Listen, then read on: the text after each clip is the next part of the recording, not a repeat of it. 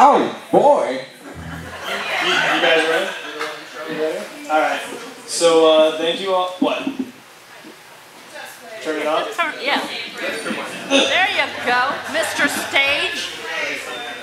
Did you learn nothing from the Kingdom Hearts? Wait, what?